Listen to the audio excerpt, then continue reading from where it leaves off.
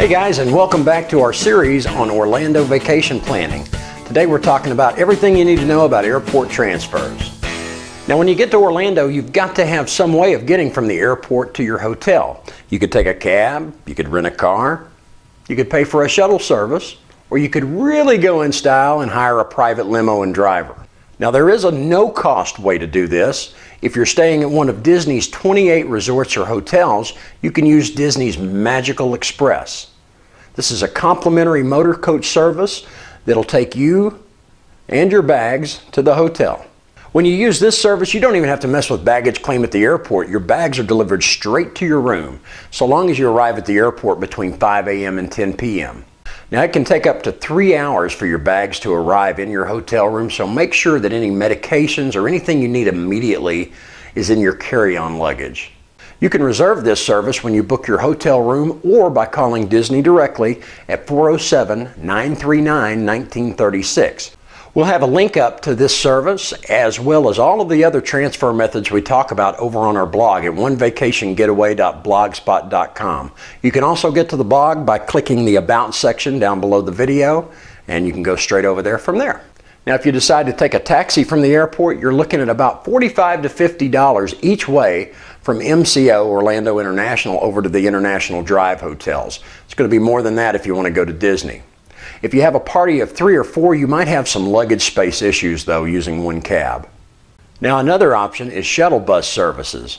These are usually going to cost you between 20 and $25 per person each way. A shuttle bus will get you there, but it's going to do it with a few downsides. After a long flight, you'll go claim your bags in baggage claim, and then you'll wait by the curb until the shuttle bus has enough families to really fill it up, and they'll pack you in and send you on your way. Think can of sardines. Also, you won't be able to stop off at a grocery store to pick up drinks and snacks, milk and cereal for the room. Most Orlando hotels have a refrigerator in the room, and so this stuff is very handy during a long trip. And you're going to be making multiple stops at other people's hotels. You're going to wait on the driver to pull their luggage out, to get them out, wait on his tip, maybe load some people up to go back to the airport when he gets done also.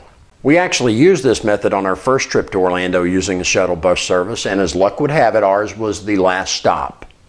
We've actually found a better alternative to the shuttle services. If you have a party of three or more, hiring a private limo company like Orlando's Happy Limo can make a whole lot of sense.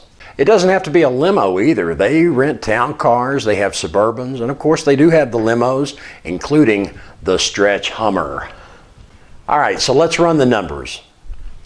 Now follow me here, okay? Let's say you've got a party of three. If you take a shuttle bus, you're looking at paying about $75 each way, just to a hotel on International Drive, and so that'd be $150 round trip.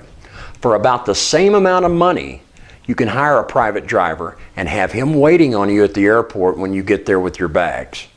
Luxury sedans like town cars will run about $68 each way, 125 round trip, and that's the International Drive or Disney. They charge a flat rate over at Happy Limo.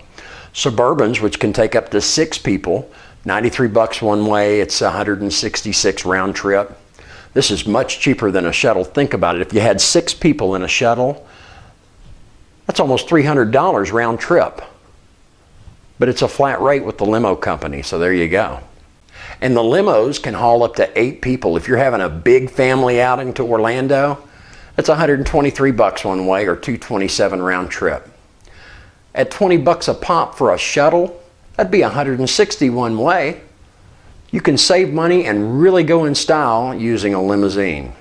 Best of all, Happy Limo will actually make a 15 minute grocery stop outside the tourist trap areas where it's more expensive, just so you can get milk and drinks and cereal and things like that for the room. Let me tell you something, you could easily save up to $30 a day just by having breakfast in your room in the mornings. That adds up to a huge ton of money over the course of a long trip in Orlando.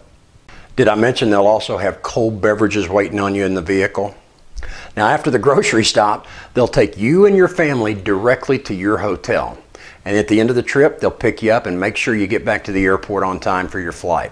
We found really good service and excellent value going the private limo route when it comes to our trips to Orlando. And it really adds that something extra special to the trip. The kids love it. Now the other alternative is renting a car. A lot of people use this option. If you're a really young family though, it can be difficult finding a place that'll rent to you. Over on the blog, we've got a link up to Fox Rental Car Company there in Orlando. They will actually rent to people as young as 20.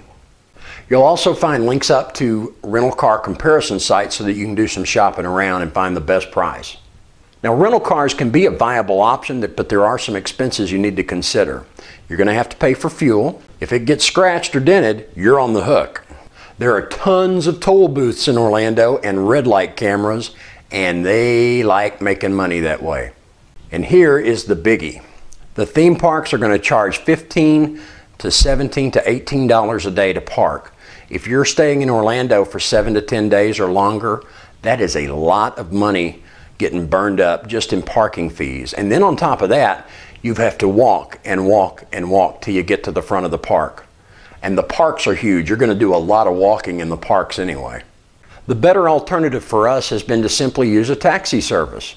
They have Yellow Cab and Checker Cab, which are both owned by Mears Transportation of Orlando. For your research convenience over on the blog, we have a link up to a taxi fare estimator. With the estimator, you're going to be able to find specific fares from your hotel to particular parks and attractions. We also have the phone number for Yellow and Checker Cab up on the site so that you can stick it in your cell phone, and that is very handy. If you have bigger parties, they will actually send you a van, and it's the same thing as far as the taxi fare goes. It goes by the mile. Now, taxi trip out to the Disney parks from the iDrive area are going to cost you a bit more. They're around $45 each way, depending on the park.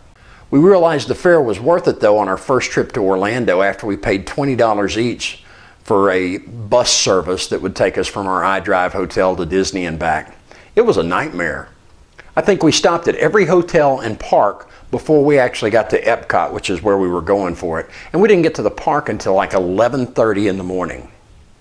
The hotel's pay bus service was even worse at the end of the day after the fireworks at Epcot, it took us about two hours to get back to the hotel because once again, they loaded us onto a bad bus. They had to take us off of it. They had to get us a new bus, and then we start, stopped at every park and hotel on the way back.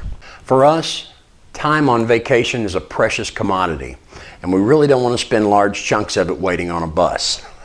So when we go to Orlando, we use Happy Limo for our airport transfers, and we tend to use taxis to get around town. It just makes the trip stress free, relaxing, and it maximizes our time. For us at least, these are two elements that are definitely worth budgeting for. Well, there you have it. All the basics on airport transfers and getting around Orlando. If nothing else, put that local taxi number on our blog into your cell phone just in case you need it. I know it's come in handy for us many times when we wanted to get picked up from a restaurant or from an attraction along International Drive and we didn't want to wait for the local trolley and couldn't find a, a cab whizzing by. Well, folks, we hope you found this helpful and it makes your Orlando getaway just a little bit easier. Thanks for watching and happy travels. Hey, if you'd like to see some of our past getaways and share yours, check us out on Facebook at YouTube Getaway. We've also got this episode and a whole lot more over at our blog, onevacationgetaway.blogspot.com. Hey.